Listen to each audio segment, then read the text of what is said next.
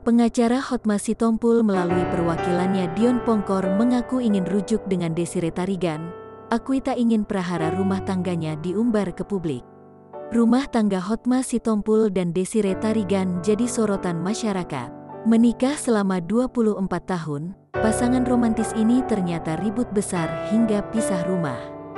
Akhirnya, perwakilan Hotma buka suara dalam jumpa pers di Yayasan Bantuan Hukum Mawar Saron, Komplek Mitra Sunter Boulevard, Jakarta, pada Senin, tanggal 29 Maret tahun 2021. Pihak pengacara, Dion Pongkor, yang mewakili Hotma langsung menyangkal tudingan adanya orang ketiga dalam rumah tangga Hotma Sitompul dengan Desire Tarigan.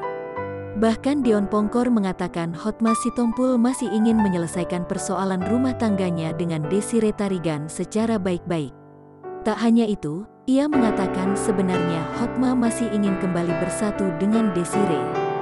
Pak Hotma maunya bersatu kembali, kata pengacara Hotma Sitompul, Dion Pongkor dikutip Tribun Style dari kanal YouTube KH Infotainment, Senin, tanggal 29 Maret tahun 2021. Hotma Sitompul pun berharap Desire Tarigan juga mau kembali rujuk.